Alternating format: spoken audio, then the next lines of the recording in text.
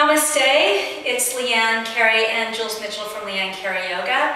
And Rena from Palos Verdes, California asked us to cover some things in Trikonasana. The thing that I've decided to cover today, Rena, is how you might uh, work yourself better into the pose your teacher if you were really stiff in the hips. So Jules is going to come onto the mat. That's not who she is. Actually, she has a lot more movement than this. But let's just pretend that you're working with someone that comes to the pose and the hips don't move, the top thigh just stays where it is, and as a result, they just can't really go anywhere, and it just becomes kind of this funky side bend.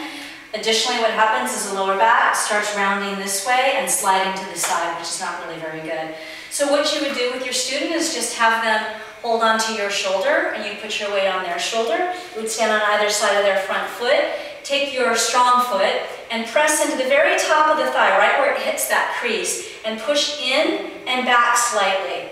And then I'll ask her to take her own top thigh and try to sort of suck it up into the joint. Yes, as soon as she does that, I feel herself get into a deeper crease. Now the problem is that if I go to take her all the way down, right, bringing her hand down, she's going to lose this work and the lower back's going to start to curve again. So we're just going to let her stay here. She can bring her left arm up to the sky if she wants, or she can keep it at her hip, or it doesn't really matter. This is the work that we're trying to get her to learn. And so maybe five, six, seven, eight breaths, then we come out as she's still working that top leg all the way up, and then I just bring her back to neutral position. So a wonderful way to get your students to understand the work in the pelvis and the hips and Trikonasana. Let us know how it goes, and thanks for posting. Namaste.